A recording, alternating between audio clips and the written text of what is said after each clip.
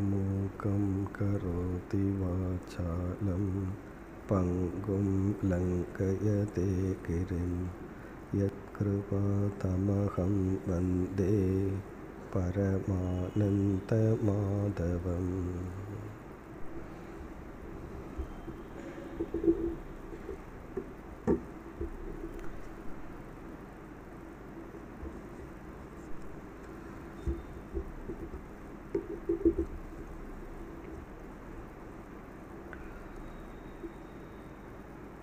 குணங்களை பற்றிய விசாரத்தில் நாம் நான்கு தலைப்புகளை நிறைவு செய்துள்ளோம். குண மூலம் சத்துவம் ரஜஸ் தமஸ் என்கின்ற குணங்கள் நம் மனதிற்கு எங்கிருந்து வந்தது என்றால் இந்த மனமே குணரூபமான மாயையினுடைய உருமாற்றம். இரண்டாவது லக்ஷணம். சத்துவத்தினுடைய லக்ஷணம் சுருக்கமாக ஞான சக்தி பிறகு அனாமயம் நற்குணங்களுக்கு காரணமாக அமைவது. ரஜோகுணத்தின் லட்சணம் கிரியா சக்தி செயல்படுகின்ற ஒரு சக்தி. விருப்பு வெறுப்பு போன்ற குணங்களுக்கு காரணமாக இருப்பது. தமோ குணம் என்பது ஜட சக்தி. அறியாமை மயக்கம் சோம்பல் போன்ற குணங்களை வெளிப்படுத்துவது. பிறகு மூன்றாவதாக பந்தன பிரகாரக. ஒவ்வொரு குணமும் எப்படி நம்மை பந்தப்படுத்தும்? நம்முடைய இலக்கிலிருந்து நம்மை எப்படி தடை செய்து துயரத்திற்குள் ஆளாக்கும்? என்றும் சுருக்கமாக பார்த்தோம். நான்காவது பார்த்த கருத்து குண ஆதிக்கியம் இதில் சத்துவம் ரஜஸ் தமஸ் என்ற மூன்று குணங்களும் சமமாக நம்மிடம் இருந்த போதிலும் சத்துவ குணமானது தன்னுடைய செயலை காட்ட வேண்டும் என்றால் தன்னுடைய தன்மையை வெளிப்படுத்த வேண்டும் என்றால் அப்பொழுது ரஜோகுணமும் வெளிப்படுத்த முயற்சி செய்யும் தமோ குணமும் வெளிப்படுத்த முயற்சி செய்யும். இந்த இரண்டையும் அடக்கித்தான் தன்னை வெளிப்படுத்தி கொள்ள வேண்டும். நாம் பொதுவாக நினைப்பதுண்டு ரஜோகுணம் தமோகுணம் என்றுமே மோசமானது உகந்தது அல்ல என்று. அப்படியல்ல மூன்று குணமும் நமக்கு இருக்கின்றது. மூன்றிலும் நன்மை என்ற அம்சமும் பந்தப்படுத்துகின்ற அம்சமும் இருக்கின்றது. தமோ குணமும் நமக்கு தேவை ரஜோகுணமும் தேவை சத்துவகுணமும் தேவை. அதில் நம்முடைய முயற்சி இந்த மூன்று குணத்திலுள்ள நல்ல அம்சத்தை விடாமல் இதனுடைய பந்தப்படுத்துகின்ற அம்சத்தை நாம் விட்டுவிட வேண்டும். அதை தவிர்ப்பதுதான் நம்முடைய சாதனைகள். பிறகு இனியொரு கருத்தை பார்த்தோம். சத்துவகுணம் ஐந்து கோஷங்களில் ஆனந்தமய கோஷம் விஞ்ஞானமய கோஷத்தில் நம்மை பந்தப்படுத்துகின்றது அபிமானம் வைக்கின்றது. ரஜோகுணம் மனோமய கோஷத்திலும் பிராணமய கோஷத்திலும் நம்மை இணைக்கின்றது. தமோகுணம் அன்னமய கோஷமான சரீரத்தில் நம்மை பிணைக்கின்றது. இதுவரை நாம் பார்த்து முடித்தோம். இனி நம்முடைய அடுத்த கருத்து லிங்கம். ஐந்தாவது தலைப்பு லிங்கம். லிங்கம் என்றால் நாம் எந்த குணத்தின் தூண்டுதலில் இப்பொழுது இருக்கின்றோம் என்று எப்படி கண்டுகொள்வது? எந்த அறிகுறியை வைத்து குழு என்று சொல்கின்றோம். எந்த அறிகுறியின் துணை கொண்டு நாம் இப்பொழுது எந்த குணத்தில் இருக்கின்றோம் என்று கண்டுகொள்ளுதல். எதற்காக இந்த லிங்கம் தேவைப்படுகிறது? அப்படி கண்டுகொண்டால்தான் நாம் அடுத்த சாதனையை தொடர முடியும். நாம் எங்கிருக்கிறோம்னு நமக்கே தெரியவில்லை என்றால் நம்மால் அடுத்த சாதனைக்கு செல்ல முடியாது. இதை கண்டுகொள்ள பகவான் பதினொன்று பன்னிரெண்டு பதிமூன்று இந்த மூன்று ஸ்லோகங்களில் வரிசையாக சத்துவம் ரஜஸ் தமஸ். இந்த சத்துவ குணம் மேலோங்கி இருந்தால் இப்படியெல்லாம் வெளிப்பட்டிருக்கும். இந்த அறிகுறையை நீங்கள் வைத்து சத்துவ குணத்தில் இருக்கின்றேன் என்று கண்டுகொள்ள வேண்டும். இந்த அறிகுறிகள் உங்களிடம் தென்பட்டால் ரஜோகுணத்தினுடைய தூண்டுதல் இப்பொழுது நடைபெற்று இருக்கிறது என்று புரிந்து கொள்ள வேண்டும். அதேபோல் தமோகுணம் இந்த லிங்கம் அறிகுறி என்றால் சாஸ்திரத்தில் சொல்கிற ஒரு உதாரணத்தையே எடுத்துக்கொள்வோம். நம்ம பகல் வேளையில் தூரத்தில் ஒரு மலையில் புகையை பார்க்கின்றோம். உடனே நம்ம வந்து என்ன முடிவு பண்ணுறோம் அந்த மலையில் இப்பொழுது தீ பிடித்துள்ளது தீ இருக்கின்றது என்று. இந்த நெருப்பை நாம் பார்க்கவே இல்லை. ஆனால் நெருப்பை பற்றிய அறிவை எப்படி அடைகின்றோம்? புகையினுடைய துணை கொண்டு நெருப்பை பற்றிய அறிவை அடைகின்றோம். இந்த புகையத்தான் லிங்கம் என்று சொல்கின்றோம். இந்த புகை வந்து நெருப்பை காட்டி கொடுக்க உதவி செய்கிறது. நெருப்பை பற்றிய அறிவை அடைய புகை காரணம் ஆகிறது. ஆனால் யோசித்து பார்த்தா நெருப்பு தான் புகைக்கே காரணம். நெருப்பு இருந்தால் தான் புகையும். அப்படி ஒரு பழமொழியே இருக்குது நெருப்பு இருந்தால் தான் புகையும்னு சொல்லி. அப்போது புகையினுடைய இருப்புக்கு காரணம் நெருப்பு நெருப்பினுடைய ஞானத்திற்கு காரணம் புகை. இந்த புகையினுடைய ஞானத்தின் துணை கொண்டு பார்க்காத நெருப்பை நாம் புரிந்து கொள்கின்றோம். அந்த புகையத்தான் லிங்கம் காட்டி கொடுப்பது அடையாளம்னு சொல்கிறோம் ஆனால் நம்ம நிஜமாலுமே அந்த மலைக்கு நடந்து சென்றால் நெருப்பை நேரில் பார்க்க வாய்ப்பு இருக்கும். ஏன்னா நெருப்பை வந்து பார்க்கக்கூடிய ஒரு தன்மை உடையது தான் நெருப்பு. ஆனால் சத்துவம் ரஜஸ் தமஸ் என்ற மூன்று குணங்கள் என்றைக்குமே பார்க்கக்கூடியது அல்ல. அதை வந்து என்றைக்குமே நம்ம பார்க்க முடியாது. ஏன்னா அது ஸ்தூலமான ஒரு பொருள் அல்ல. ஆகவே நம்ம என்ன பண்ணணும்? சத்துவத்தினுடைய விளைவிலிருந்து தான் சத்துவத்தை புரிந்து கொள்ள முடியும். இதுக்கு சாஸ்திரத்தில் காரியானுமேயம் என்று சொல்வார்கள்.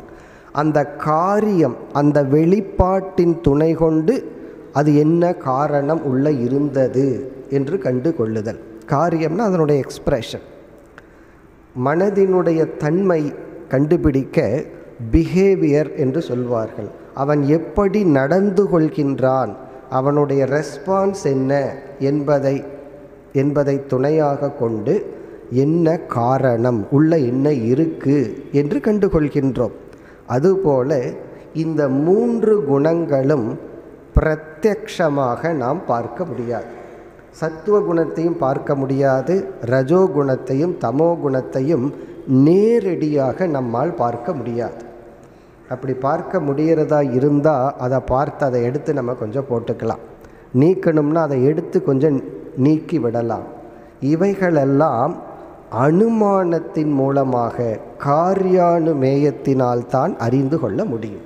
அதாவது இப்படிப்பட்ட பிஹேவியர் இப்படிப்பட்ட செயல்பாடு உடலினுடைய செயலோ மனதினுடைய சிந்தனையோ வெளிப்பட்டால் இது இந்த குணத்திலிருந்து தான் வெளிப்பட்டிருக்க வேண்டும் என்று அந்த குணத்தை நாம் என்றுமே யூகித்துத்தான் புரிந்து கொள்ள முடியும். சில பொருள்களையெல்லாம் பிரத்யக்ஷமாகவும் பார்க்க முடியும் அனுமானத்திலையும் உணர்ந்து கொள்ள முடியும். இந்த மாதிரி ஒரு யுக்தியின் மூலமாக புரிந்து கொள்ளலாம். ஆனால் சில தத்துவங்கள் என்றைக்குமே அனுமானத்தில் தான் உணர முடியும். இப்போ அன்பு பாசம் கருணை கோபம் பொறாமை இவைகளையெல்லாம் நம்ம பார்க்க முடியுமா? என்றால் இவைகளெல்லாம் உள்ளே இருக்குங்கிறது எப்படி கண்டுகொள்ளுவது? அந்த பொறாமை இருந்தால் இவன் என்ன செய்வான்? அந்த செயலை வச்சு தான் ஓ இது பொறாமை தான் உள்ளே இருந்திருக்கு.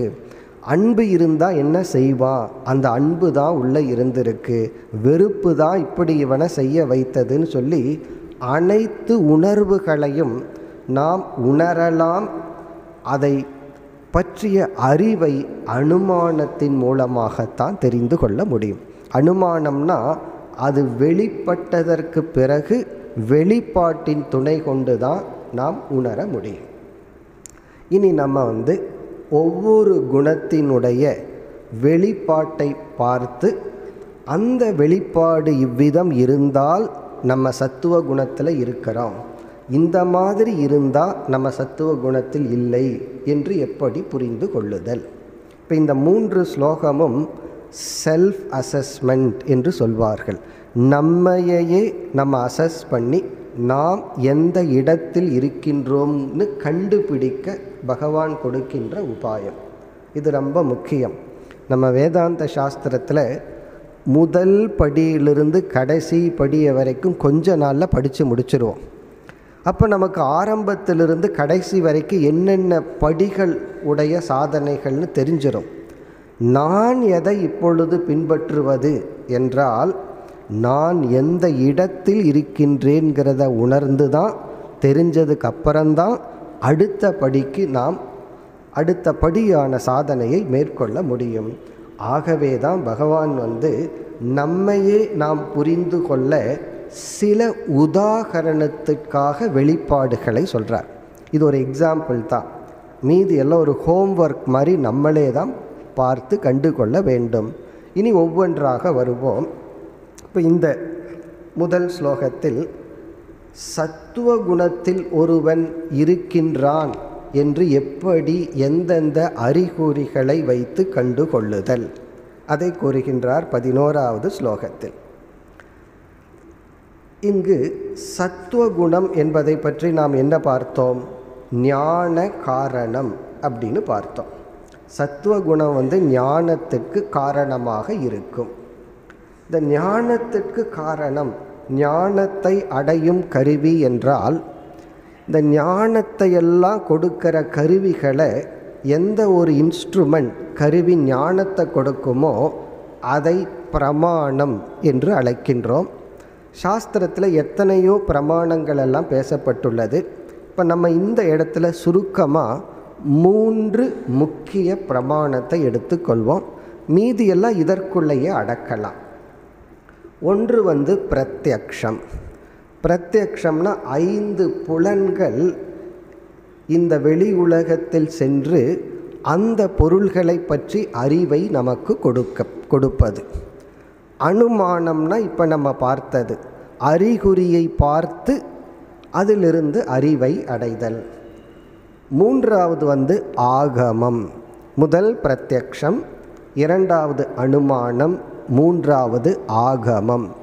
ஆகமம் என்றால் சொல். வேதம் அல்லது யாராவது வார்த்தையில் நமக்கு நம்மிடம் பேசினால் அந்த சொற்கள் அந்த சென்டென்ஸ் அந்த வாக்கியத்திலிருந்து அறிவை அடைதல்.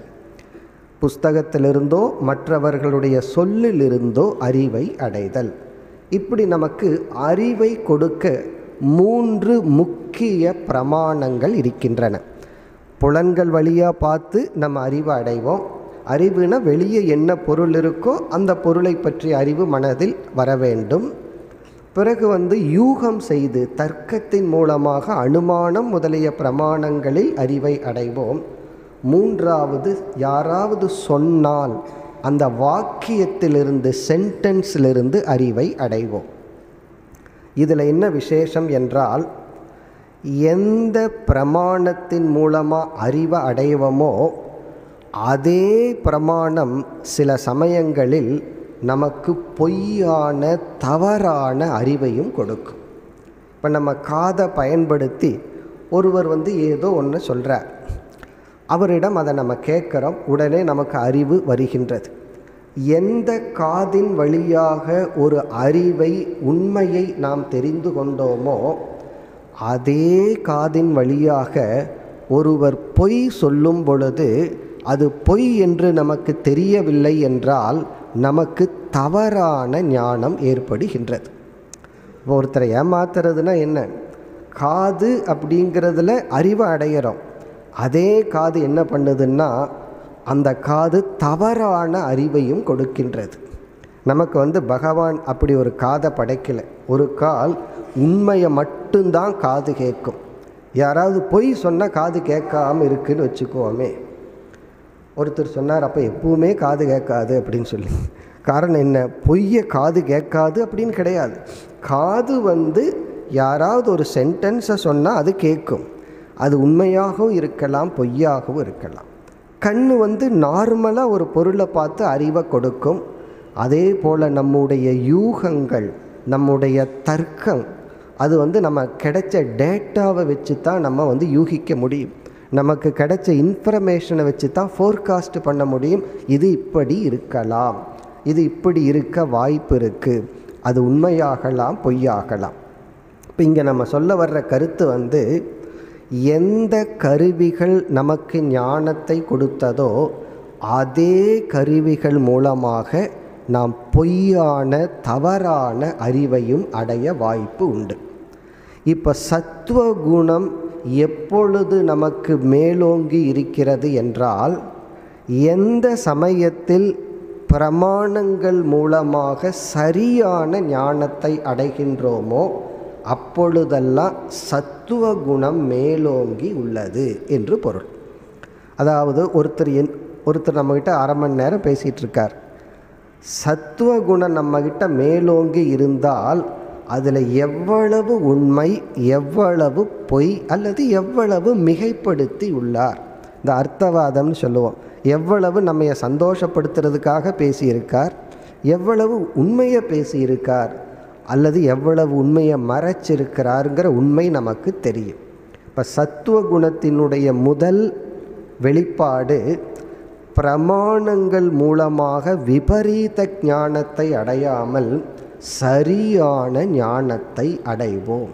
அதனால தான் சத்துவ குணம் மிக மிக முக்கியம்னு சொல்கிறோம் காரணம் சத்துவ குணம் இருந்தால் தான் சரியான இன்ஃபர்மேஷனே உள்ளே போகும். சத்துவ குணம் இல்லை என்றால் ரஜோகுணம் தமோகுணம் நமக்கு இருந்தால் தமோகுணம்ங்கிறது புத்தி மாந்தியம் புத்திக்கு புரிந்து கொள்கின்ற சக்தி இல்லாமை அப்போ என்ன ஆகும்னா அந்த பிரமாணங்களை பயன்படுத்தி எல்லாமே தவறாகவே புரிந்து கொண்டு இருக்கும் அப்போ இதில் முக்கியம்னா காது தான். நம்ம காலையிலேருந்து சாயந்தரத்து வரைக்கும் காதில் எவ்வளவு விஷயத்தை கேட்குறோம் யோசித்து பார்த்தா அதில் எத்தனை உண்மையை கேட்டிருப்போம் எவ்வளவு பொய்யை கேட்டிருப்போம் அதை புரிஞ்சுக்கிறது மனம். இப்போ மனசு தான் இதில் எது உண்மை எது பொய்ன்னு ஆராய்ந்து புரிந்து கொள்ள வேண்டும். இப்போ இங்கே பகவான் வந்து முக்கிய லக்ஷணமாக என்ன சொல்கிறார் சர்வ துவாரேஷு தேகேஸ்மின். இந்த ஐந்து புலன்கள் வழியாக புலன்களில் நம்ம பிரத்யக்ஷ பிரமாணம் சொல்வது ஐந்து புலன்கள். மெய் வாய் கண் மூக்கு செவி என்ற ஞானத்தை கொடுக்கின்ற இந்த ஐந்து புலன்களில் அஸ்மின் பிரகாஷக உபஜாயதே. அது மிக தெளிவாக இருந்து அவைகளை ஞானத்தை கொடுக்கும் கருவியாக எப்பொழுது நமக்கு செயல்பட்டு கொண்டிருக்கிறதோ ஞானம் எதா? எப்போ இவைகள் மூலமாக ஞானம் நமக்கு வருகின்றதோ அப்பொழுது விவருத்தம் சத்துவம். அப்பொழுது சத்துவ குணமானது நமக்குள் மேலோங்கி இருக்கிறது என்று புரிந்து கொள்ள வேண்டும். காரணம் எந்த புலன்கள் எந்த காது எந்த திங்கிங் தர்க்கம் இவைகள் துணை கொண்டு ஞானத்தை அடையிறமோ அவைகள்தான் நம்மை ஏமாற்றி அவைகள்தான் நமக்கு தப்பான இன்ஃபர்மேஷனை கொடுக்கும். இது யாருடைய டியூட்டி அல்லது ரெஸ்பான்சிபிலிட்டி இது சரி தவறுன்னு பிரிக்கிறது சத்துவ குணம்.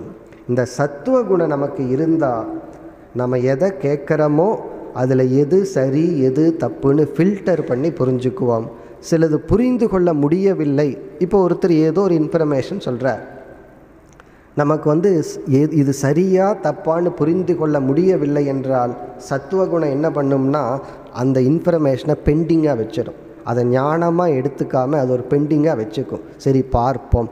பிறகு இதை முடிவு செய்யலாம். ஆராய்ந்ததற்கு பிறகு இது உண்மையா பொய்யான்னு முடிவு செய்யலான்னு பண்ணும். இந்த ரஜோகுணம் என்ன பண்ணும்? அந்த குணத்திற்கு தகுந்த மாதிரி சரின்னு சொல்லும் அல்லது தப்புன்னு சொல்லும். இந்த சத்துவ குணம்தான் சரியான ஞானத்திற்கு காரணம். இதுதான் முக்கிய லட்சணமாக சொல்கிறார் ஐந்து புலன்கள்.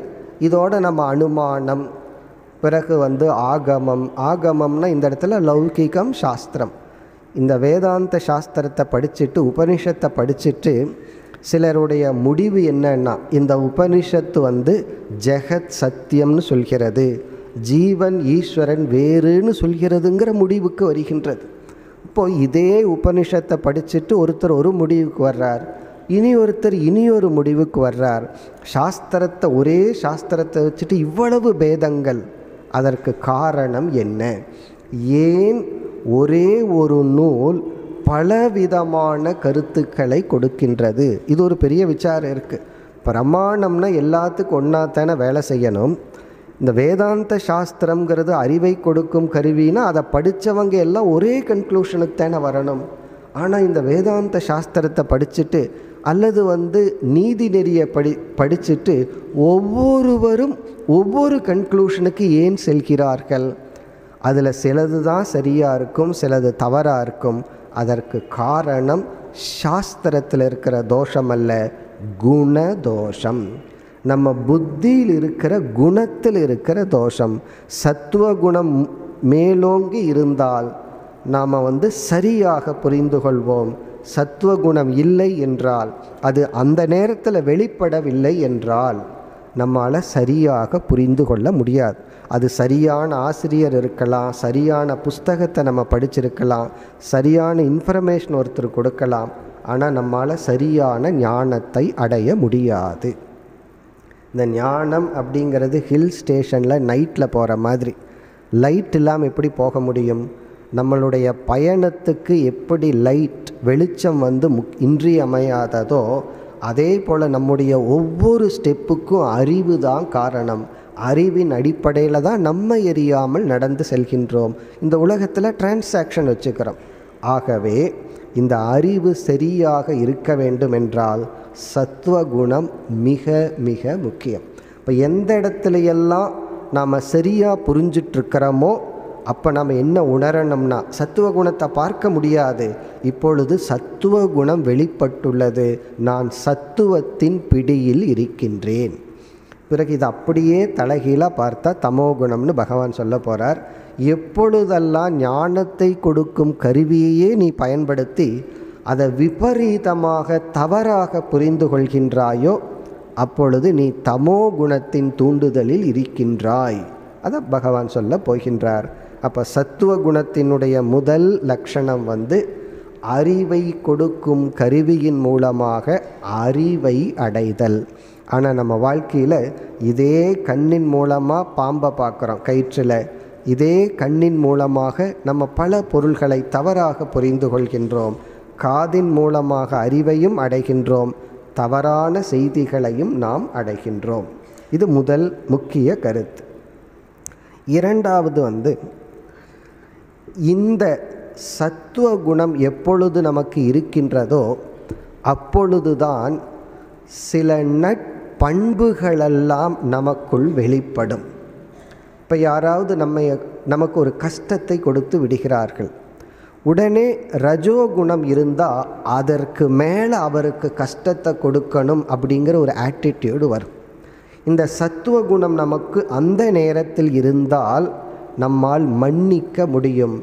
அவர்களுடைய இயலாமையையும் அறியாமையையும் பார்க்க முடியும். அவர்களுக்கு இயலாமையினால் அறியாமையினால தான் என்னை துயரப்படுத்துகின்றார்கள். இவ்விதம் எப்பொழுதெல்லாம் சத்துவ குணம் மேலோங்கி இருக்கின்றதோ அப்பொழுதெல்லாம் மனதிலிருந்து வருகின்ற எமோஷன் உணர்வுகள் நம்மையையும் புண்படுத்தாமல் ஹிம்சைப்படுத்தாமல் மற்றவர்களையும் ஹிம்சைப்படுத்தாத விதத்தில் வெளிப்படும். அப்போ சத்துவ குணத்துக்கு இனி ஒரு லிங்கம் என்னவென்றால் அஹிம்சா. சத்துவ குணம் எப்போ நமக்கு இருக்கோ அப்போது அஹிம்சைன்னு சொன்னால் இந்த இடத்துல யாரை சத்துவ குண ஹிம்சைப்படுத்தாது? நம்மை ஃபஸ்ட்டு இந்த சத்துவ குணம் வந்து ஃபஸ்ட்டு நம்மை ஹிம்சைப்படுத்தாது. இந்த மன்னித்தல்ங்கிற ஒரு வேல்யூ இருக்குது உண்மையிலேயே சாஸ்திர ரீதியாக நாம் ஒருத்தரை மன்னித்தால் ஒருத்தர் ஒரு பாவம் செய்து விடுகிறார்கள் அதனால் நம்ம அஃபெக்ட் ஆகியிருக்கோம் ஒருத்தர் ஒரு தப்பு செய்கிறதுனால பாதிக்கப்பட்டது நம்ம தான் நாம் மன்னித்தால் இந்த மன்னிப்பு வந்து யாருக்கு நன்மையை தருகிறது? நமக்கு நன்மையை தருகிறது. நம்மை ஹிம்சைப்படுத்துவதில்லை. மன்னிப்புங்கிற குணம். நம்ம என்ன நினைக்கிறோம் நான் ஏன் மன்னிக்க கூடாதுன்னா நான் மன்னிச்சிட்டேன் அப்படின்னா அவன் செய்த பாபத்தின் பலனை அவன் அனுபவிக்காமல் போயிடுவானே நான் மன்னிக்கிறதுனால அவன் செஞ்ச தப்புக்கு உரிய தண்டனையை அவன் அனுபவிக்க மாட்டான்னு நம்ம நினைக்கிறோம். அது தவறு. நம்ம மன்னிச்சிட்டதுனால அந்த நேரத்தில் சில அவனுக்கு கஷ்டம் வராமல் இருக்கலாம். பட் கர்மா தியரி அவன் செய்த பாபத்திற்கு கண்டிப்பாக தண்டனை கொடுக்கும். இவனுக்கு ஒரு பாவம் இருந்தால் என்ன ஆகும்னா அந்த தண்டனையை இவனே செய்து இவன் ஒரு பாபத்தை சேர்த்தி கொள்வான். இவனுக்கு புண்ணியம் இருந்து சந்தோஷமாக இருக்கணும் அல்லது சத்துவ குணம் மேலோங்கி இருந்தால் என்ன நடக்கும் அப்படின்னா இவன் மன்னித்து விடுவான். ஆனால் அதற்குரிய தண்டனை அவன் வேறு விதத்தில் அடைவான். அதற்கு இவன் பொறுப்பாக மாட்டான். ஒருவனை தண்டித்த பாப்பம் இவனுக்கு வராது. அப்போ மன்னிப்பு என்பது முதலில் மன்னிப்பவனுக்கு இன்பத்தை நிறைவை கொடுக்கின்றது மகிழ்ச்சியை கொடுக்கின்றது. இப்படி சத்துவ குணத்தினுடைய இனி ஒரு மிக முக்கிய பண்பு நம்மை ஹிம்சைப்படுத்தாது. நம்ம வந்து காலையிலிருந்து சாயந்தரத்து வரைக்கும் எவ்வளவு முறை நம்மையே நாம் துன்புற்று துன்புற்றிருக்கிறோம் அப்படின்னு ஒரு ஸ்டாட்டிஸ்டிக்ஸ் எடுத்து பார்ப்போம். காலையிலேருந்து சாயந்தரத்து வரைக்கும் எவ்வளவு முறை நான் டிஸ்டர்ப் ஆகியிருக்கேன் மன சங்கடப்பட்டிருக்கேன் அப்படின்னு ஒரு கணக்கெடுத்து இதில் வந்து என்னை நான் துன்புறுத்து துன்புறுத்தியது அதிகமாக மற்றவர்கள் என்னை துன்புறுத்தியது அதிகமானு பார்த்தோம்னா தொண்ணூறு சதவீதம். என்னைத்தான் நான் துன்புறுத்தி இருப்பேன். மற்றவர்கள் என்னை துன்புறுத்தியது அது ஒரு சில பர்சன்டேஜாக இருக்கலாம். அதுக்கு பெஸ்ட் எக்ஸாம்பிள் யாரோ ஒருத்தர் வந்து நம்ம திட்டிட்டு போயிடுவார். அவர் எவ்வளோ முறை திட்டினார்? ஒரே ஒரு முறை. அப்போ நம்ம எவ்வளோ முறை துயர் துயரப்படணும்? ஒரு முறை தான் துயரப்படணும். ஆனால் நம்ம நூறு முறை அந்த வார்த்தையை எடுத்து நமக்குள்ளே திட்டி திட்டி நம்ம நூறு முறை துயரப்படுகின்றோம். இந்த தொண்ணூத்தொம்பது முறை துயரப்பட்டதுக்கு யார் காரணம்னா? அவர் அவர்கிட்ட போய் சொல்லலாம் எனக்கு நூறு முறை உங்களால் டிஸ்டர்ப் ஆகிட்டேன்னா அவர் என்ன சொல்லுவார்? நீ ஒரு முறை தான் டிஸ்டர்ப் ஆகிருக்கணும் ஏன்னா நான் ஒரு முறை தானே திட்டிட்டு போனேன். அந்த திட்ட மனசில் நீ வச்சுட்டு உன்னையே நீ அதை திரும்ப திரும்ப சொல்லி உன்னை நீ துயரப்படுத்தி கொள்வது எந்த குணம்னா? ரஜோகுணம் தமோ குணம்.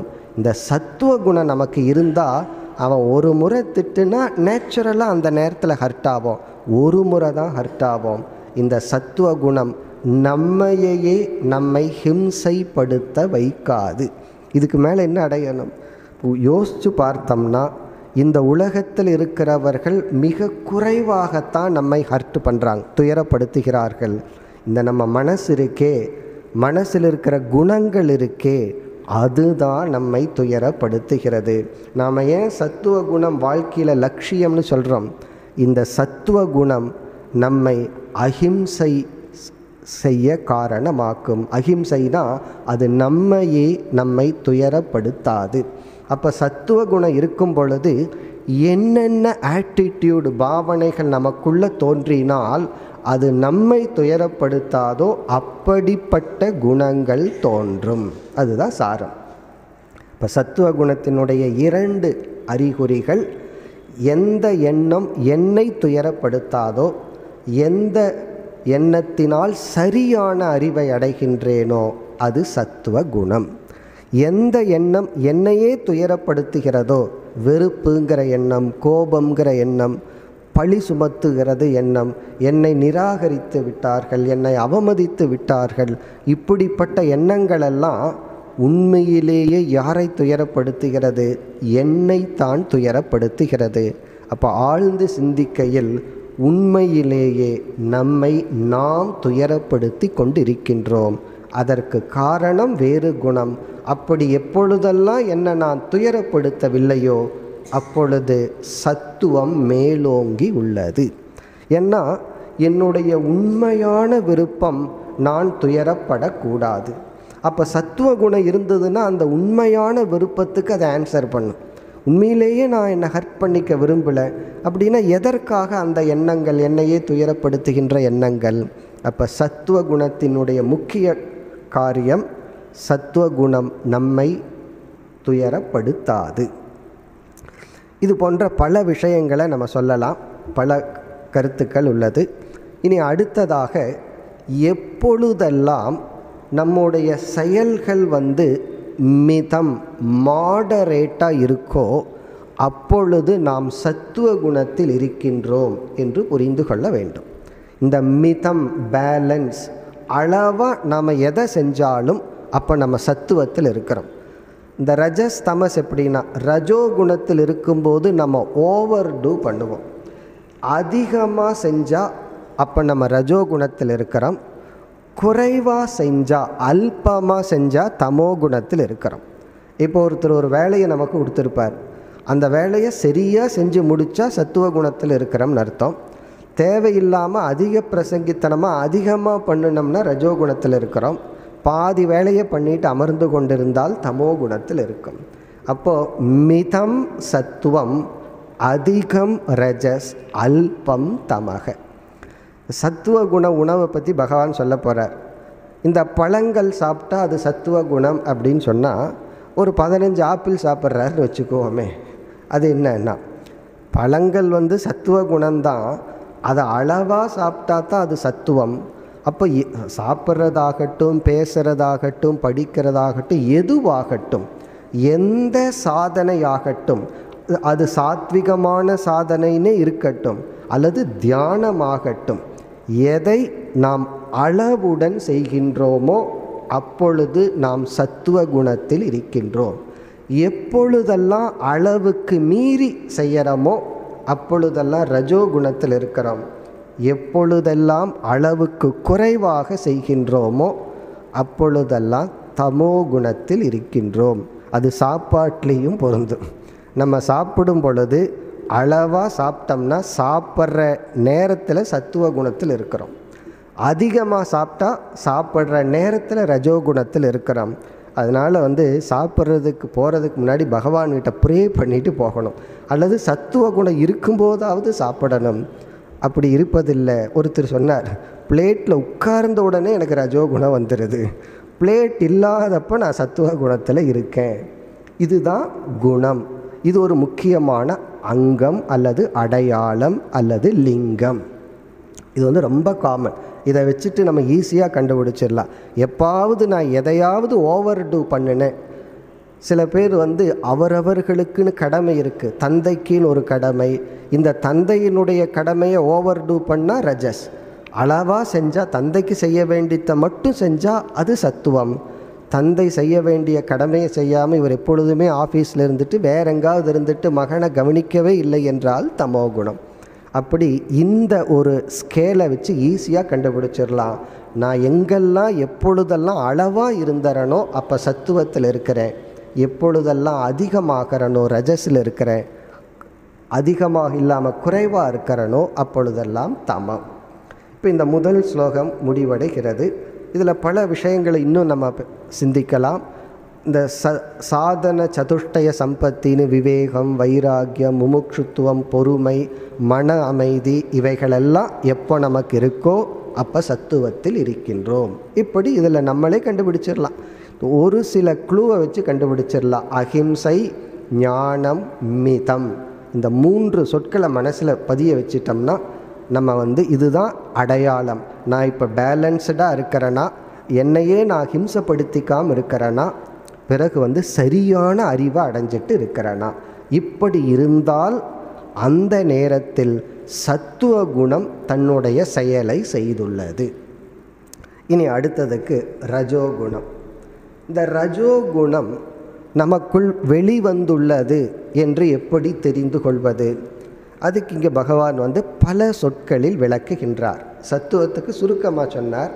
ரஜோகுணத்துக்கு என்ன சொல்கிறார் லோப பிரவருத்திராரம்பக கர்மணாம் அசமஸ்பிருகா ரஜஸ் ஏதானி ஜாயந்தே விவருத்தே பரதர்ஷப விவருத்தே ரஜோகுணமானது மேலோங்கும் பொழுது தன்னை வெளிப்படுத்தி கொண்டிருக்கும் பொழுது இப்படிப்பட்ட சிம்டம்ஸ் இப்படிப்பட்ட பிஹேவியர் அல்லது திங்கிங் இப்படிப்பட்ட நிலையில் நீ இருப்பாய். அப்போ இதெல்லாம் உன்னிடத்தில் இருந்தால் நீ என்னென்னு புரிந்து கொள் உன்னிடத்தில் ரஜோகுணம் அதிகமாக உள்ளது என்று புரிந்து கொள் அதில் முதல்ல வந்து லோபக அதை பிறகு பார்ப்போம். பிரவருத்திகி பிரவருத்திகி என்றால் ஏதாவது ஒரு செயலை செய்து கொண்டே இருத்தல் பயனற்ற செயலை செய்து கொண்டே இருத்தல். இந்த செயல் செஞ்சால் ஏதாவது பிரயோஜனம் இருக்குமாங்கிறதெல்லாம் கிடையாது. சம்திங் எதையாவது செய்து கொண்டே இருத்தல். பிரவருத்திகி. பிரவருத்தினா சம் ஆக்டிவிட்டிஸ். எப்பொழுதும் எதையாவது செய்து கொண்டே இருத்தல். இது வந்து சாமானியமான கர்ம. சாமானியமாக எதையாவது செய்து கொண்டு இருத்தல். அப்போ வந்து ரஜோகுண மேலோங்கி உள்ளது. இப்போ எதையாவது செய்வது ஒரு நல்ல காரிய நல்ல பலனை கொடுத்தா நம்ம என்ன புரிஞ்சுக்கணும்? ரஜசினுடைய நல்ல அம்சம் வெளிப்பட்டிருக்குன்னு புரிஞ்சுக்கணும். ஒரு பிரயோஜனமும் இல்லாமல் எதையாவது செய்து கொண்டிருந்தால் அது ரஜோகுணத்தினுடைய தீய அம்சம் என்று புரிந்து கொள்ள வேண்டும். அடுத்தது வந்து கர்மணாம் ஆரம்பக. கர்மணாம் ஆரம்பகன்னா நமக்கு ஏற்கனவே சில கடமைகள் இருக்கும் டியூட்டி எல்லாம் இருக்கும். நம்ம என்ன பண்ணுறது அதிக பொறுப்பை எடுத்து கொள்ளுதல். அதிகமான கடமைகளை நாமளே எடுத்து கொள்ளுதல். இந்த ரஜோகுணம் என்ன செய்யும்னா இந்த சத்துவ குணத்தில் இருக்கிற இந்த புத்தி இருக்கே அதை வந்து தனக்கு சாதகமாக ஒரு ஜட்ஜ்மெண்ட் போட வச்சு அந்த புத்தியின் மூலமாக இதை நீ செய்தாகணும் அப்படின்னு சொல்ல வச்சிரு. அப்போ தானே கில்ட் இல்லாமல் நம்ம செய்யலாம். ஒரு கிராமத்தில் ஒரு அறுபது வயது ஆன இந்த கூலி வேலை செய்கின்ற ஒரு தாய் ஒரு அம்மா அவங்க காலையில் கூலி வேலை செய்வார்கள். பிறகு இரவில் போய் அந்த சின்ன சின்ன ஜல்லி எல்லாம் ஒரு லாரியில் வரும்.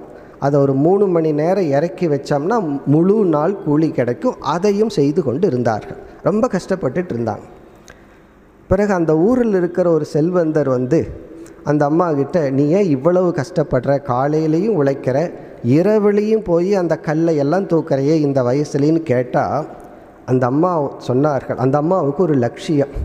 என்னன்னா என்னுடைய கழுத்தில் வெறும் மஞ்சள் கயிறு தான் இருக்குது தங்கத்தில் ஒரு தாலி வாங்கணும் இதுக்காக இதை பண்ணுறேன் இந்த அம்மாவோட லட்சியம். உடனே இவர் பார்த்தார் ரொம்ப வயசாயிடுது நம்ம வந்து தானம் பண்ணுவோமேன்னு சொல்லி இந்த அம்மா எவ்வளவு தாலி எதிர்பார்க்குறாங்களோ அதை கொடுத்துட்டார். பிறகு கொஞ்ச நாளைக்கு அப்புறம் பார்த்தா அந்த அம்மா மீண்டும் போய் நைட்டு வேலை செஞ்சிச்சு. இவர் மீண்டும் கேட்டார் ஏன் இப்போ போய் வேலை செய்கிறேன்னு தங்கத்தில் வளையல் வாங்கி போடணும் அப்படின்னு சொன்னார்கள். இது எதை குறிக்குதுன்னா இந்த அம்மாவுனுடைய ரஜோகுணம் இப்படி ஒரு லட்சியத்தை கற்பனை செய்ய வச்சுக்குது. அதாவது வந்து தன் தனக்குள்ளே ஒரு ஆக்ஷன் உள்ள ரஜோகுணம் சும்மா இருக்க மாட்டேங்குது. இவனை வந்து செயல்படுத்தது. சும்மா செயல்படுத்தினா இவனுக்குள்ளேயே இவன் தன்னை பைத்தியகாரன் நினைக்க தோணுமே. அதனால் இந்த புத்தி என்ன பண்ணும்னா ஏதாவது ஒரு லட்சியத்தை தேவையில்லாத ஒன்றை லட்சியமாக கற்பனை செய்து கொண்டு இவனை வந்து ஓவர் ஆக்டிவாக செய்ய வைக்கும். இந்த கர்ம நாம் ஆரம்பக. அப்போ தான் அவர் புரிஞ்சிட்டாரு. இந்த அம்மாவை தங்கத்திலேயே குளிக்க வச்சாலும் இந்த அம்மா நைட்டு போய் வேலை செஞ்சு தான் ஆகும். நம்ம கையில் இல்லை. காரணம் என்ன? இது புத்தி தன்னையே ஏமாற்றி கொள்ளுதல். பல பேரை நம்ம பார்க்குறோம். எதற்கு இப்படி கஷ்டப்பட்டு உழைக்கிறார்கள்னே தெரியாது. இனி ஒரு கேட்டகரி உழைக்காமல் தூங்கிட்டு இருக்கிறது அது தமோ குணம் இந்த கேட்டகரி என்னன்னு சொன்னால் தேவைக்கு மேலே செயல்பட்டு கொண்டே இருத்தல். கொஞ்ச நேரம் உடல் இந்திரியங்கள் அமைதியாகவே இருக்காது. எதையாவது செய்து கொண்டே இருத்தல். அதிகமாக தன்னுடைய சக்திக்கு மேலே பொறுப்பை எடுத்து கொள்ளுதல். பிறகு எக்ஸ்பேன்ஷன் எக்ஸ்பேன்ஷன் இதுக்கெல்லாம் வந்து முடிவே கிடையாது. இப்படி கர்ம நாம் ஆரம்பக என்றால் அதிகமாக பொறுப்பை எடுத்துக்கொண்டு அதன் விளைவாக உடல் ஆரோக்கியத்தை கெடுத்தல் பிறகு உறவுகளை கெடுத்தல். எப்பொழுது பார்த்தாலும் மிஷின் மாதிரி நம்ம அலைந்து கொண்டே இருந்தால் நம்ம ரிலேஷன்ஷிப்பை அனுபவிக்க மாட்டோம். எதற்கு ரிலேஷன்ஷிப் உறவுகள்? பணமெல்லாம் எதற்குனா? அந்த உறவுகளோட மகிழ்ச்சியாக வாழ்வதற்காக. ஆனால் அந்த ரஜோகுணம் நம்ம என்ன பண்ணும்னா நம்மை ஒரு இயந்திரம் ஆக்கிவிடும். சத்துவகுணம் வந்து நம்மை ஒரு மனுஷனாக வச்சுருக்கும். இந்த ரஜோகுணம் வந்து நம்மை ஒரு மிஷின் ஆக்கிரும். மிஷினுக்கு தான் ஆயிலை விட்டுட்டு அது டுவெண்ட்டி ஃபோர் ஹவர்ஸ் ஷிஃப்ட் போட்டு ஓடிட்டே இருக்கும். அதுபோல் நம்மை ஆக்கிவிடும். அப்போ கவனமாக இருக்கணும்.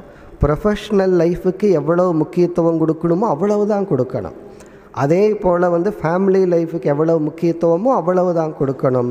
இதை பேலன்ஸ் பண்ணிட்டா சத்துவ குணம் இதை பேலன்ஸ் பண்ணாமல் ஏதோ ஒன்றில் மட்டும் நம்ம கான்சென்ட்ரேட் பண்ணினால் அது ரஜோகுணம். இதெல்லாம் நம்ம புத்தியை நம்ம ஏமாற்றி ஏதாவது ஒரு காரணத்தை சொல்லி எப்பொழுதும் வேலை வேலைனே சொல்லி வேலையிலே நம்மை மூழ்கடித்து விடும். அப்படி இருக்கக்கூடாது.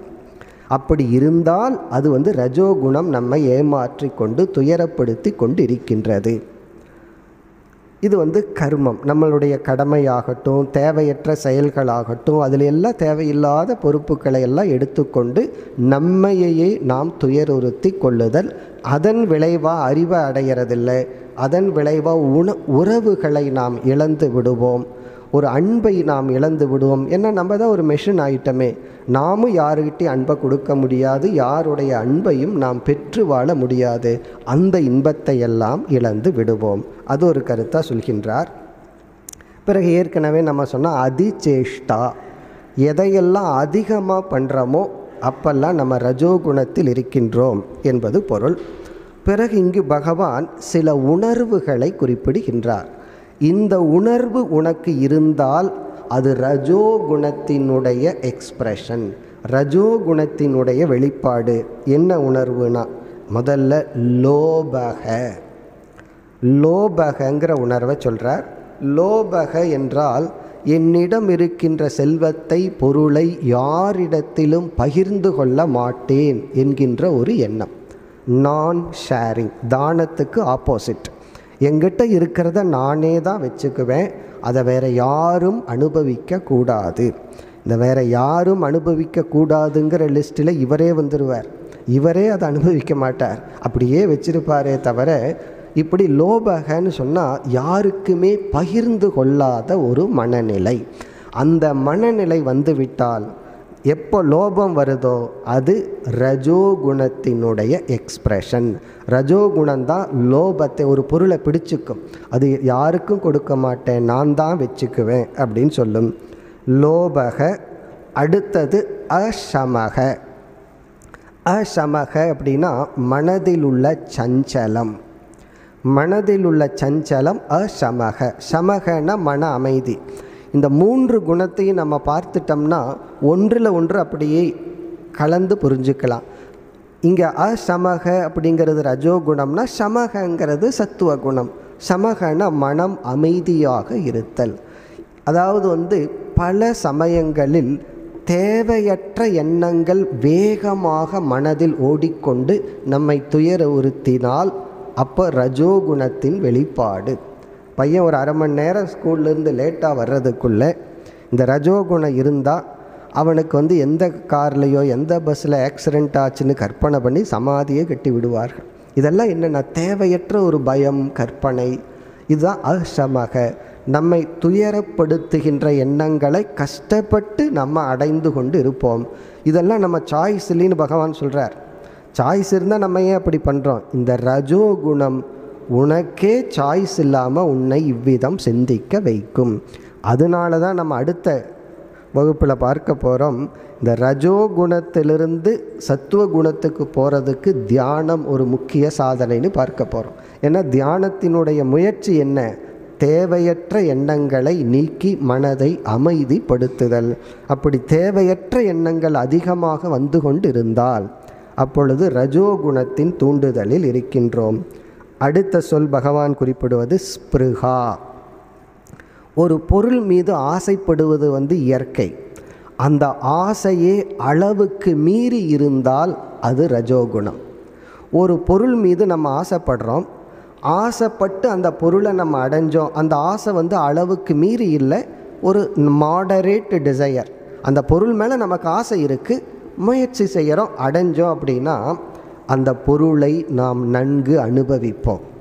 ஒரு பொருள் மீது ஆசை அதிகமாக இருந்து அதை நம்ம அடைஞ்சோம்னா அந்த பொருளை நம்ம அனுபவிக்க மாட்டோம். ஒரு பொருள் மீது பற்று அதிகமாகிவிட்டால் அந்த பொருளை நாம் நன்கு பயன்படுத்த மாட்டோம். இப்போ குழந்தைன்னு இருக்குது பெற்றோர்கள் வந்து குழந்தை மீது பற்று வைக்கணும் பாசம் வைக்கணும்.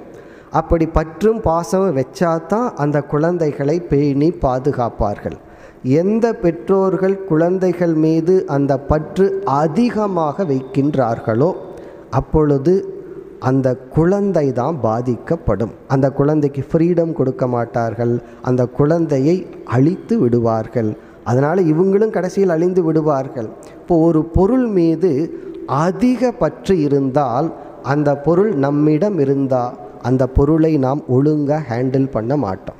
அப்போ இந்த ரஜோகுணம் என்ன பண்ணும்னா அதிக பற்றுடன் ஒரு பொருளை நாம் ப பெற வச்சு அந்த பொருளுடன் இன்பத்தை அனுபவிக்கிறதுக்கு பதுவாக அந்த பொருளே துன்பத்திற்கு காரணமாகும்.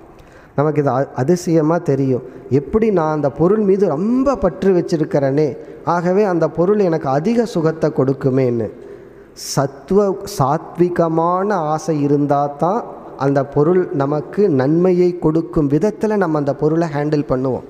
அது வந்து ஒரு ரிலேஷன்ஷிப் ஆகலாம் உறவுகளாகலாம் கணவன் மனைவி தாய் தந்தை அல்லது ஒரு ஆப்ஜெக்ட் ஆகலாம்.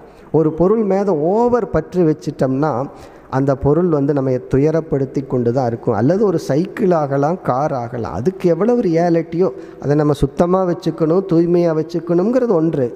ஆனால் அதுக்கு அதிக ரியாலிட்டி கொடுத்துட்டோம் அப்படின்னா அதில் வர்ற ஒவ்வொரு ஸ்க்ராட்சும் நம்ம தலையில் வர்ற ஸ்க்ராட்ச் மாதிரி ஆயிரும். காரணம் என்ன? நம்மால் அதை வச்சுட்டு சந்தோஷமாக இருக்க முடியாது. அதனுடைய நிமித்தமாக பயந்துட்டு தான் இருப்போம். ஒரு குழந்தை மீது அதிக பற்று வைத்தால் பிறகு குழந்தைக்கும் நல்லதல்ல பெற்றோருக்கும் நல்லதல்ல. அதைத்தான் இங்கே பகவான் வந்து ஸ்பிருகா என்ற சொல்லில் சொல்கின்றார். அதிக ஆசை. இனி வந்து வேறு சில பல குணங்களை நம்ம எடுத்துக்கொள்ளலாம். பொறாமை கோபம் விக்ஷேபம் இது போன்ற ஆல் நெகட்டிவ் தாட்ஸ் பிறகு வந்து அடுத்து வருகின்ற அத்தியாயத்தில் பார்க்க போகிறோம் தெய்வீ சம்பத் ஆசுரி சம்பத்னு மனதில் இருக்கின்ற குணங்களை பகவான் பிரிப்பார் தன்மைகளை. அதில் இது இவைகளெல்லாம் தெய்வீகமான குணங்கள் இவைகளெல்லாம் அசுரத்தனமான குணங்கள்னு பிரிப்பார். இதில் அசுரத்தனமான குணங்கள் அனைத்தும் ரஜோகுணத்தினுடைய வெளிப்பாடு. இந்த அசுரத்தனமான குணங்கள் இது என்ன பண்ணணும்னா நம்ம ஏற்கனவே சத்துவத்தில் பார்த்தோமே அதுக்கு ஆப்போசிட்டாக பார்க்கணும். தன்னையும் ஹிம்சைப்படுத்தி மற்றவர்களையும் ஹிம்சைப்படுத்தும். இது இவர்களுடைய சாய்ஸ் இல்லாமல் இதை நம்ம உணர்ந்துட்டோம் அப்படின்னா யாராவது நம்மை ஹிம்சப்படுத்திட்டா நாம் எப்படி பார்க்க வேண்டும்? அவன் என்னை துயரப்படுத்தவில்லை. அவனுக்குள் இருக்கின்ற ரஜோகுணம்தான் இவ்விதம் அவனை செயல்படுத்தி என்னை துயரப்படுத்தியது. அப்போ உண்மையிலேயே நம்ம யார்கிட்ட கோவிச்சுக்கணும்? ரஜோகுணத்துக்கிட்ட தான் கோவிச்சுக்கணும். நம்ம வந்து அவங்கிட்ட கோவிச்சுக்கிறோம். காரணம் என்ன? இது அவனுடைய சாய்ஸ் இல்லாமல் நடக்கிறது. இப்படி உணர்ந்தால் அது சத்துவ குணம். நீ இப்படி எனக்கு இந்த வார்த்தையை நீ பயன்படுத்தினா அதற்கு மேலே பவர்ஃபுல் வார்த்தையை நான் பயன்படுத்துகிறேன்னு சொன்னால் இங்கே ரஜஸும் ரஜஸும் மீட் ஆகிக்குதுன்னு அர்த்தம். இப்போ அதே ரஜஸ் நம்மிடம் இருந்தால் நாமும் அதைத்தான் திரும்பி செய்வோம். இப்போ இது போன்ற பல குணங்களெல்லாம் நம்மிடம் எப்பொழுது மேலோங்கி இருக்கிறதோ அப்பொழுதெல்லாம் ரஜஸ் வெளிப்பட்டுள்ளது. இனி அடுத்தது வந்து பதிமூன்றாவது ஸ்லோகம் தமோ குணம். இதை புரிந்து கொள்வது மிக சுலபம். சத்துவத்துக்கும் ரஜஸுக்கும் ஆப்போசிட்டாக இருக்கிறதெல்லாம் தமோ குணம். அதனால் பகவான் சொல்கிறார் அப்பிரகாசக அப்பிரவருத்திகி அப்பிரகாசக அப்படிங்கிறது ஆப்போசிட் ஆஃப் சத்துவம். பிரகாசம் அப்படின்னா சரியாக புரிஞ்சு கொள் கொள்வது. அப்பிரகாசகன்னா ஒன்றா புரிந்தே கொள்வதில்லை. அப்படி புரிஞ்சுட்டா தப்பாக புரிஞ்சுக்கிறது. ஒன்றா அறிவு வராது. அப்படி அறிவு வந்தால் அதையும் தப்பாக புரிஞ்சுக்கிறது. அப்பிரகாசக எல்லாத்தையுமே தவறாகவே புரிந்து கொள்ளுதல். அப்படி எப்பொழுதெல்லாம் நம்ம தப்பாகவே புரிஞ்சிட்ருக்கிறோமோ அந்த பழி யாருக்கு போகுதுன்னா நமக்குள் இருக்கின்ற தமோ குணம்தான் நம்ம என்ன செய்ய வைக்குதுன்னா எல்லாத்தையும் தவறாக புரிய வைக்கின்றது. அல்லது ஒன்றுமே புரிய வைக்காமலும் இருக்கின்றது. அதுக்கடுத்தது ரஜோகுணம் என்ன பண்ணும்னா பிரவருத்தின்னு சொன்னார். நம்ம மோர் ஆக்டிவாக வச்சுருக்கும் செயல்படுத்தி கொண்டே இருக்கும். தமோ குணம் ஜஸ்ட் ஆப்போசிட் அப்பிரவருத்திகி அப்பிரகாசகனா சத்துவம் இல்லை அப்பிரவருத்திகினா ரஜோகுணம் இல்லை. இவன் பிரவருத்திக்கவே மாட்டான். அதாவது வந்து இவனுக்கு கடமைகள் எவ்வளவோ முன்னாடி இருக்கும். இவனால் எந்த கடமையிலும் ஈடுபட மாட்டான் கடமையை செய்ய மாட்டான். ஆனால் இவர்களுக்கு மட்டும் அப்படியே சும்மா உட்காந்துட்டு இருக்கிறதுல பொழுது போயிடும் பார்த்தா சந்தோஷமாக தான் இருக்கிற மாதிரி தோணும். நம்மளும் அப்படி இருக்க முடியலையேன்னு சொல்லி. ஆனால் இது எந்த விதத்திலும் இவர்களுக்கு நன்மையை தராது. இப்போ அப்பிரவருத்திகி என்றால் இவனுடைய கடமையை இவன் செய்ய மாட்டான். அப்படியே செய்கிறான் என்றாலும் அரை மணி நேரத்தில் செய்ய வேண்டியதை மூணு மணி நேரம் எடுத்துக்கொண்டு செய்வான். அதுலேயும் ஏதாவது ஒரு குறை இருக்குது நம்ம போய் கொஞ்சம் கரெக்ட் பண்ண வேண்டியது இருக்கும்.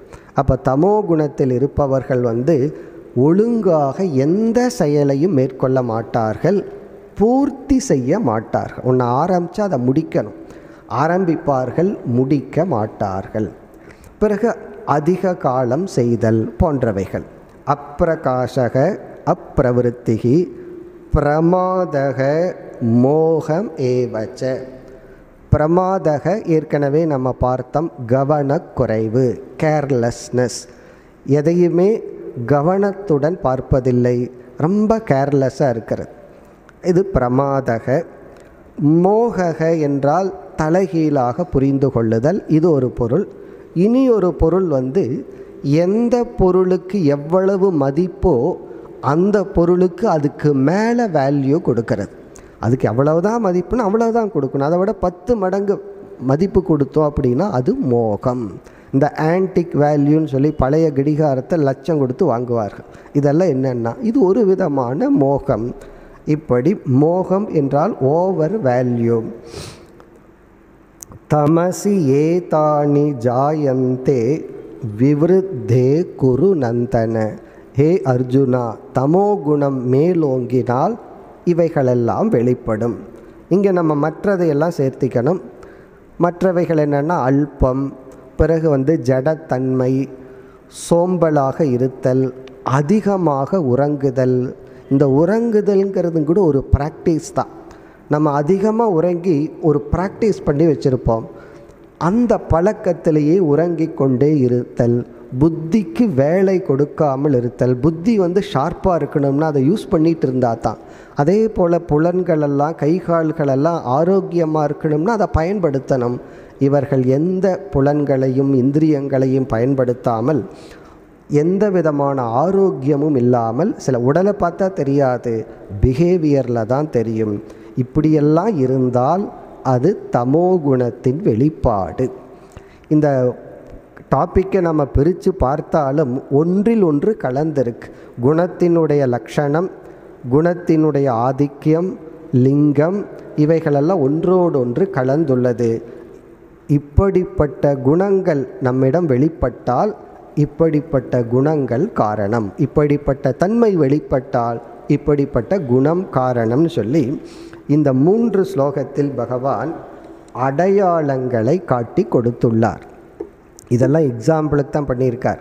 இது போல் நம்மளே சுலபமாக கண்டு கொள்ளலாம் இப்போ நான் எந்த நிலையில் இருக்கின்றேன்? நம்ம சுருக்கமாக பார்த்தோம் ஒரே ஒரு கருத்து அளவாக பண்ணுனா சத்துவம் அதிகமாக பண்ணுனா ரஜஸ் குறைவாக செய்தால் தமஸ். இது ஒன்றே போதும் முக்கால்வாசி கண்டுபிடிச்சிடலாம். பிறகு அடுத்தது ஹிம்சை. நம்மையே நம்ம ஹிம்சப்படுத்தாமல் இருந்தால் சத்துவம் நம்மையும் மற்றவங்களை ஹிம்சைப்படுத்துகின்ற உணர்வுகள் திங்கிங் வந்தால் ரஜஸ். பிறகு இவன் தன்னையும் ஹிம்சப்படுத்த மாட்டான் யாரையும் ஹிம்சப்படுத்த மாட்டான்.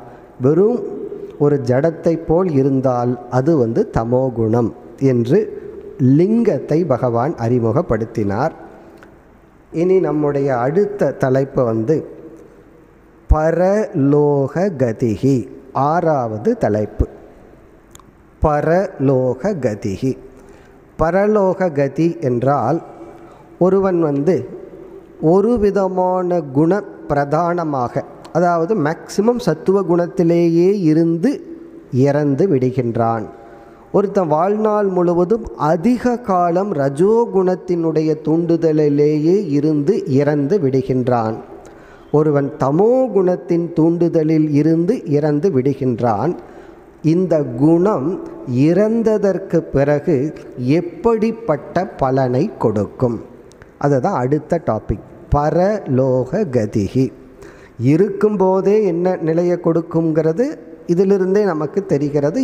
மீண்டும் பகவான் சொல்லுவார். அது நம்முடைய அடு ஏழாவது தலைப்பு. ஆறாவது தலைப்பு வந்து பரலோக கதிகி இப்போ சத்துவத்திலேயே இருந்து உடலை விட்டால் அவனுக்கு என்ன கதி? ரஜஸிலிருந்து உடலை விட்டால் என்ன கதி? தமசிலிருந்து உடலை விட்டால் என்ன கதி? இதில் வந்து பகவான் என்ன சொல்கின்றார்? சத்துவத்திலிருந்து உடலை விட்டால். இவன் சத்துவ குணத்திலேயே இருந்து உடலை விட்டால் இவனுக்கு என்ன கதி என்றால் இந்த மூன்றையும் புரிந்து கொள்வது மிக சுலபம். பகவானுடைய இங்கே கருத்து என்னவென்றால் இவன் எந்த குணத்தின் வாசனையில் இருந்து இறக்கின்றானோ அடுத்த ஜென்மத்திலும் அந்த குணத்தை அனுபவிக்கின்ற சூழ்நிலையில் பிறப்பான். இதுதான் சாமானியமான பதில். இவன் சத்துவத்திலிருந்து இறந்தான்னா இவனுக்கு கிடைக்கின்ற உலகம் சூழ்நிலைகள் இந்த சத்துவத்தை மேலும் அனுபவிக்கும் சூழ்நிலையாக அமையும். இவன் ரஜோகுணத்திலிருந்து இறந்தால் இவன் பிறக்கின்ற பிறப்பு எப்படி இருக்கும்னா மீண்டும் ரஜோ குணத்தையே வெளிப்படுத்துகின்ற சூழ்நிலையில் பிறப்பான். இவன் தமோ குணத்தில் இருந்து இறந்தால் மரம் செடி போன்ற மீண்டும் அந்த தமோ குணத்தையே அனுபவிக்கின்ற சூழ்நிலையில் பிறப்பான். காரணம் என்ன? இவனுடைய வாசனை முடிவடையவில்லை. அல்லது அந்தந்த குணங்கள் வந்து அவனுக்கு அப்படிப்பட்ட பலனை கொடுத்து இறந்ததற்கு பிறகு இவனுக்கு இப்படிப்பட்ட நிலை ஏற்படும். அதைத்தான் பகவான் குறிப்பிடுகின்றார். எதா சத்வே பிரவருத்தேது பிரளயம் யாதி தேகபிருது. பதினான்காவது ஸ்லோகத்தில் ததா உத்தமவிதான் லோகான் அமலான் பிரதிபத்தியதே யதா சத்துவே பிரவருத்தே.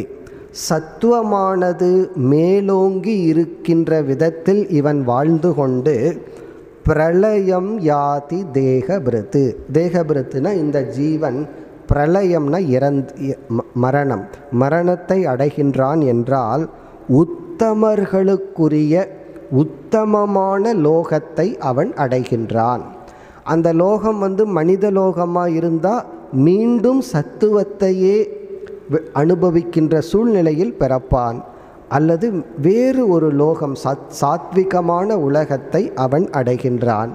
பிறகு அடுத்த ஸ்லோகத்தில் சொல்லுவார் ரஜோகுணத்தில் பிறப்பவர்கள் அந்த குணத்தை மீண்டும் அனுபவிக்கும் உலகத்தில் பிறப்பார்கள். தமோ குணத்தில் இருப்பவர்கள் மரம் செடி போன்ற ஜென்மத்தை எடுப்பார்கள் என்று கூறுகின்றார்.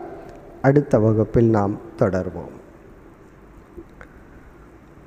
ॐ पूर्णमद पूर्णमिदं पूर्णात् पूर्णमुदच्यते पूर्णस्य पूर्णमादाय पूर्णमेवावशिष्यते। ॐ शान्ति शान्ति शान्तिः